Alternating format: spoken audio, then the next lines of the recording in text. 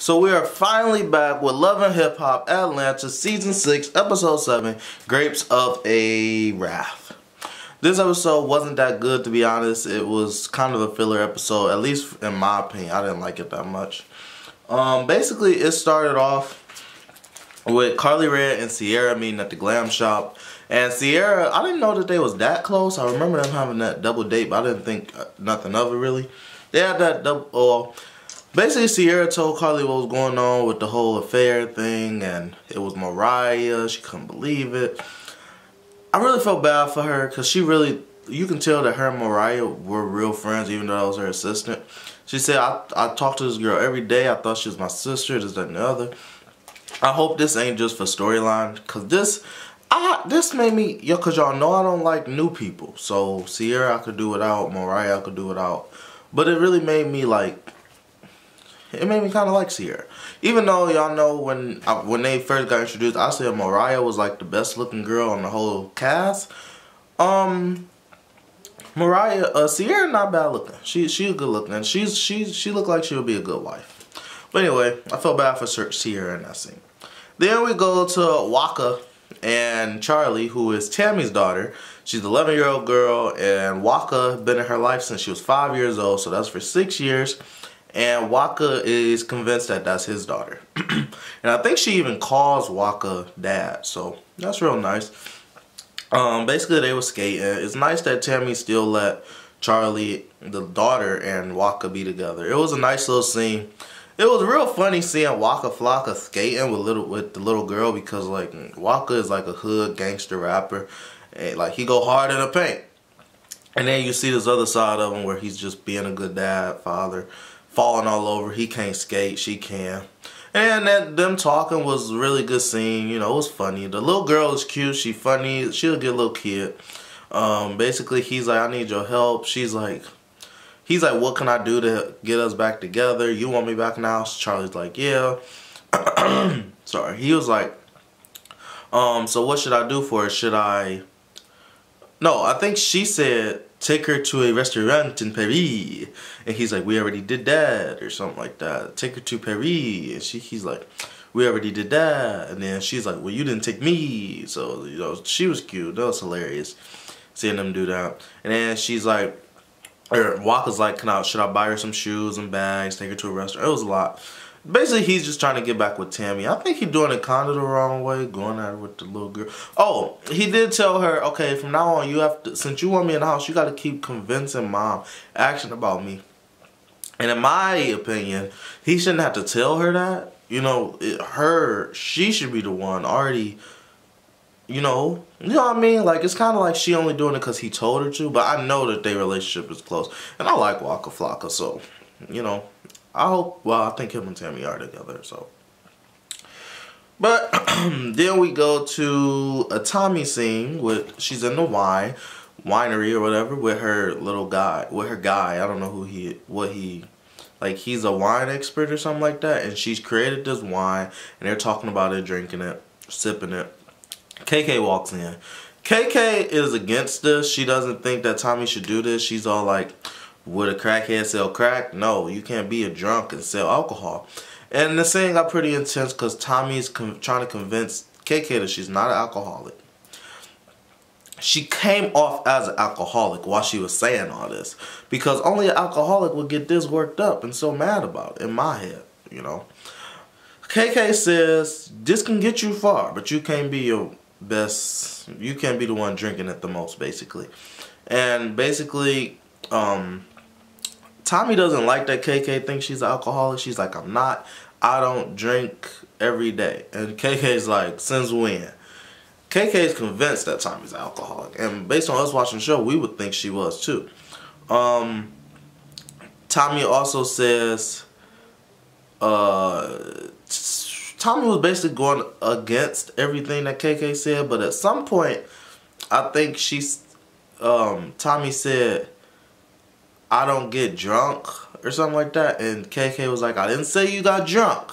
I said you drink every day or something like that. But basically that was it with that. Um, Tommie invites KK to a wine tasting. Then we see Waka meeting up with Deb. This scene was, you know, it was whatever. You know, it was just Waka meet up with his mom. They talked about Tammy, the Tammy situation, the Charlie situation, and um, Deb is like, um, don't, you're not bringing no other girl to me, so you better get back with her. You're losing your daughter over this, all that, this, that, and the other. And you can't just come into the house, because he told her about when he went to the house. Deb's like, you can't just go into the house with some bags and think she gonna welcome you back in with open arms and say, come on, let's get in the bed and roll around.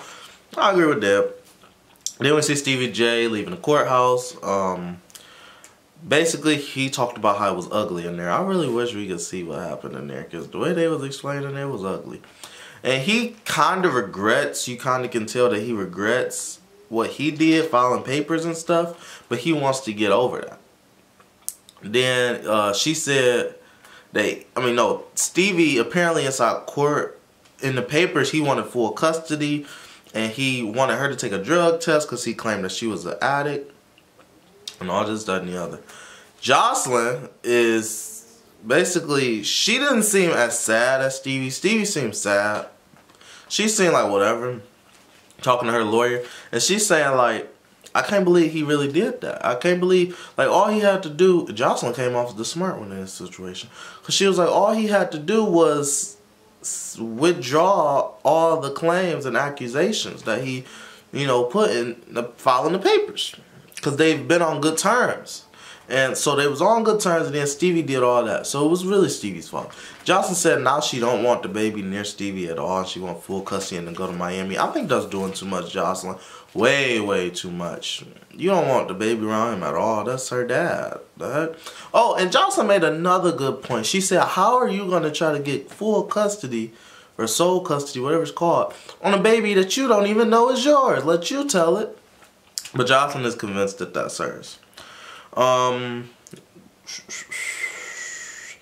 Uh, oh, and then Joseline says, so Stevie finally took the test to see if the baby is his. And she, she's telling the lawyer, what if he lied? What if he lied? What if he lied and got somebody else to take the test, this and the other? And I'm thinking Joseline is nervous. I think that she was 90% sure that the baby was Stevie's, but 10% of her was like, it might not be for real. So I think that's what was going through Joseline's mind at that point because she's saying, what if it's a lie? What if it's a lie? If you know it's his, you know it's his. You wouldn't even think that. Um, then we see Joc performing. Okay. And he gets done performing. He goes sit with Tommie and Dime who were there. Because, you know, they've been friends lately. Um, basically, they talk with Joc they talk about Karlie first, you know, the situation. Dime is friends with Karlie, which I like their friendship. Dime wants Tommie and Joc to admit to Karlie what's going on with them. And basically Joc is Joc is saying that they're not a committed relationship, so it don't matter. He's been saying that. Um, Tommie is saying it's none of her business, period. Then they talk about Treasure P. Joc says, you know, this happened, this happened. That girl is irrelevant to me. Joc, that's your intern, so just keep them away from each other. Even though he didn't, he didn't get them together, I guess. But Treasure P, y'all know how I feel about new people, so I don't really care about her at all. Then let's talk about the wine.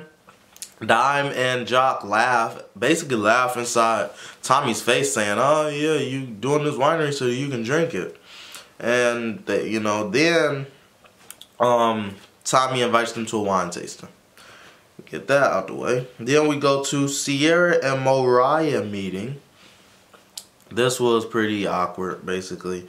Um, but you can tell that they did used to be friends. It's weird. I think Sierra was lying though when she said, "Oh, I wasn't gonna talk to her," but she started blowing up my phone. I hate when people say blowing up my phone. I bet you. Well, then again, she probably did blow up her phone, but Moriah probably only called like twice. I can see if that happened, but maybe she did blow up her phone. Basically, Sierra says you don't understand what marriage means. I like how Sierra said that. Like, you don't understand what marriage means. This wasn't my boyfriend, this was my husband. And Sierra said, um, I understand what, it, or Moriah said, I understand what it means, but he doesn't. She sounds so stupid. I can't believe how, like, I thought she was so attractive and cute and just she sounds so stupid. And then Sierra put her in her place and said, no, you don't know what marriage means because you wouldn't have did that. Um, yeah, so Team Sierra on, in this situation. Um, then Moriah decides to tell Sierra what happened. And this is where I'm not on Sierra's side anymore. Moriah tells Sierra what happened the night of the something, some launch that Sierra had. And Moriah is Sierra's assistant, so Sierra had every right to tell Moriah to take her husband home because he was drunk. Even though Moriah said she was a little bit lit too, so she shouldn't have been driving either. And then that's when it all happened. Sierra decides to go after Moriah and says, you got the body of a 10-year-old boy. That's funny. But anyway, they go at it. Um, the girl, um, Sierra threw her purse and they were about to fight, but neither one of them looked like they about that. Um, and then Sierra leaves. I'm not really on Sierra's side because why did you, why don't you believe her? She said that happened even though you shouldn't like be friends with her or nothing like that, but you had no right to just flat out blatantly say you don't believe her. That's all I'm saying. Then we go to Tommie's scene, or Tammy's scene, I'm sorry. Um, Tammy tells us about the relationship Charlie has with Waka and how she let them, you know, still see each other and they're in a good place. Tammy says that she Waka takes Charlie on dates all the time and Tammy wants to go talk to Charlie about what happened really good scene. You know, Charlie's Charlie is such a, a cute little girl trying to tell, convince her mom to get back with dad. So you know, um, Tammy's like no. Tammy gives a talk to her daughter about you know don't let a man do this, that, and the other. But Tammy kept saying we're taking a break, so it's not that big a deal. Waka, Waka should just let the break go on. I guess I don't know. I don't know. I've never been married, so I don't know. Um, she's t Charlie told Tammy about he wanted to take you to Paris. She's like been there twice.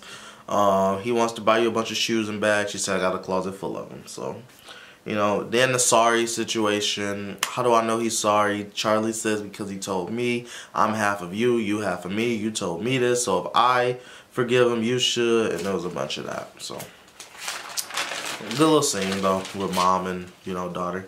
Then we see Joseline and Stevie opening up the results. So dramatic, even though we already know what it's probability of of whatever it's called 99.9. Stevie is the father.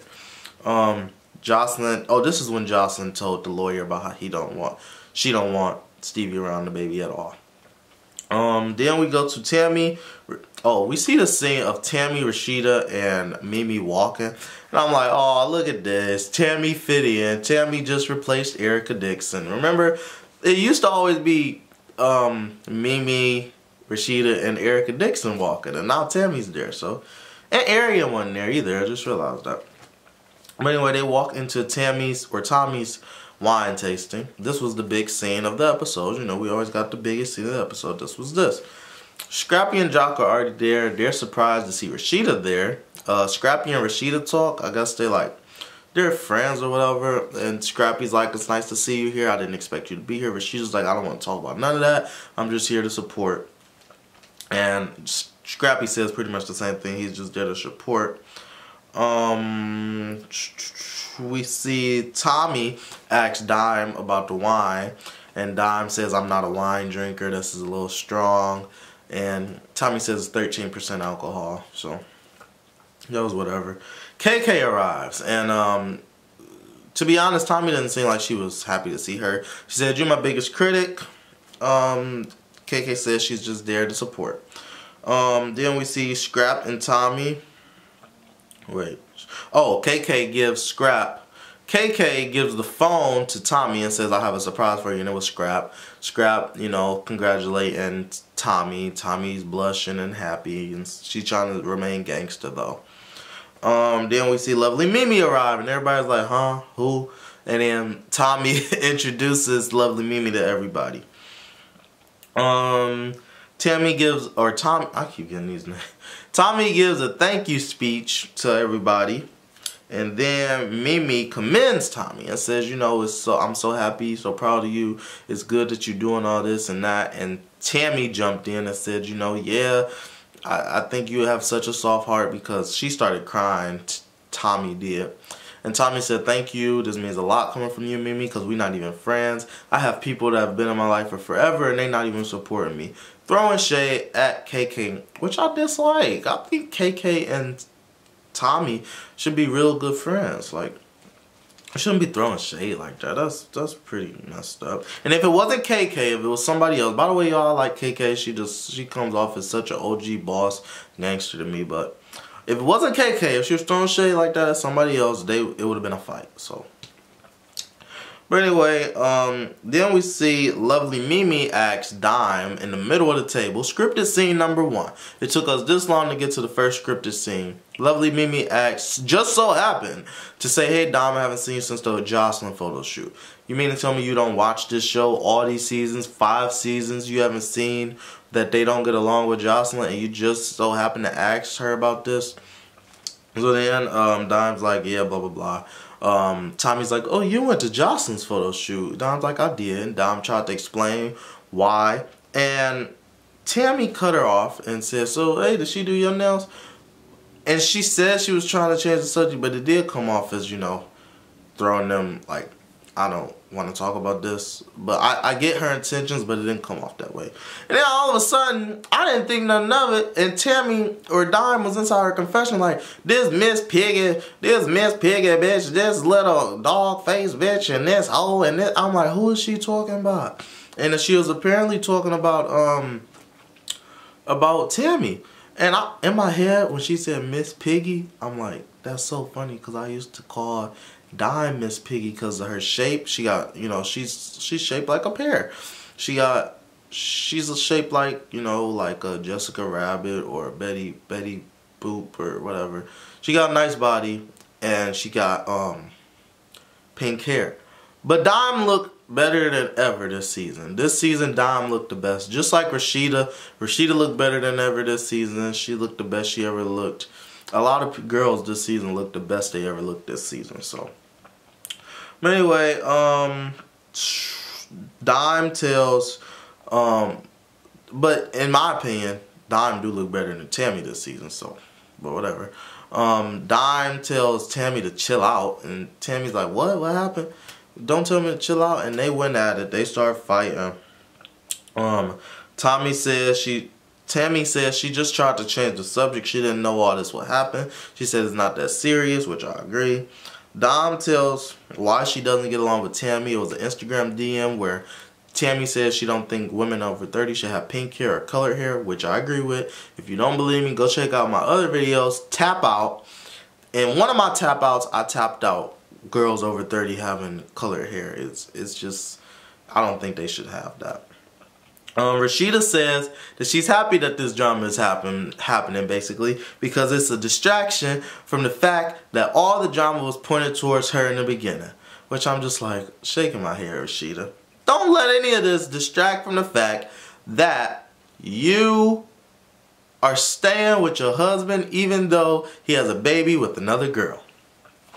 And then Dime says that Tammy is a pass around hoe, which I don't I don't understand why she said that. That make no sense. And Tammy even said it. Been with my husband for five years. That don't make sense. Dime, and it really shouldn't come from you because you was a stripper. And there's, you know what the rumor is about all strippers, which I disagree with. But I mean, KK says she knew all this was gonna happen because you gave a whole bunch of girls alcohol. Um, Scrappy was just sitting there watching the whole thing going back and forth, which I like that. That was funny. Then Tommie goes after Dime. Oh wait, I forgot to tell you that they almost started fighting because Tammy got a glass and was about to throw it at Dime. And Dime was like, oh, don't throw no Dime, don't, don't throw no glass at me. She didn't get to throw the glass because as soon as she went like this, uh, security grabbed it. Dime's like, no, I, I don't throw glass. I will be, I will bitches ass. That's what I do. I, be, I will bitches ass. I'm I'm like, oh my god. Dime's so country, but I'm starting to like her. Y'all know I came for Dime the last couple of episodes because I just didn't think she belonged here no more. And you know I don't like new people, and I just I thought she didn't have a storyline, and she was just in everybody else's. She was basically like Karlie Redd, but I liked her this episode. I was more on her side than the other girls. Dom leaves. Tommie goes after her. She tries to fight her too. Dom leaves. I really felt bad for her because nobody went out with her. And then Lovely Mimi started talking like, I feel like Lovely Mimi wanted them to go after her next because she kept saying, I'm friends with Joseline. I like Joseline. And they're like, whatever. Melissa, they talk about Melissa. Mimi is like, oh, Melissa always wants to play different stuff. I'm like, Mimi, you just, I thought you didn't care. You said you did not care about Melissa being friends with Joseline. You contradicting yourself, and I hate that. Tommie gives a speech about Dime and just and Joseline and all this, that, and the other. I was like, whatever, don't care about that. Um, lovely Mimi keeps trying to talk, bring it back to herself. Um, I didn't know what went on. They're not blaming you. So then Mimi said, but Melissa does. Melissa does. Okay, Melissa not there with Tommie. So why y'all talking about Melissa now? KK says, oh, then Tommie throws more shade at KK by saying, I'm glad all y'all here, even you, KK. And KK's like, I'm just here to drink. I'm just drinking. This is tasting better than Hennessy right now. Everybody laugh. Um, and then Tommie mom arrives, which I I don't care about, and I'm pretty sure a lot of fans don't care about. I don't know why they thought that would be a good way to end this episode. Like we do not care that her mom came. Like people barely care about Tommie, and now you her mom like. First of all, I didn't even know who that was walking in, and I'm pretty sure a lot of other people didn't know, but that's what we're gonna pick back up next week. I am doubt anybody cares about that. Um, this episode was lacking a lot.